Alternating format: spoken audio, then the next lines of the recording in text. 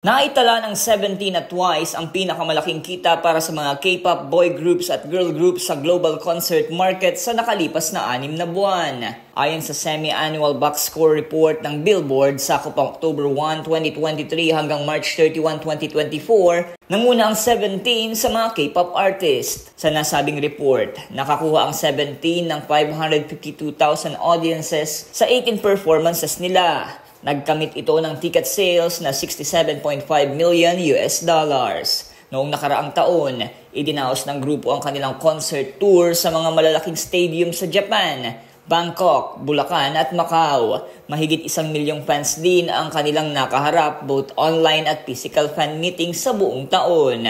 Samantala, Nasa ika-46 na pwesto naman sa survey ang Twice. Sila ang tanging Asian female artist na nakapasok sa listahan sa kanilang fifth world tour na Ready to Be. Dinagsa ng 220,000 fans ang mga concert na ito ng grupo.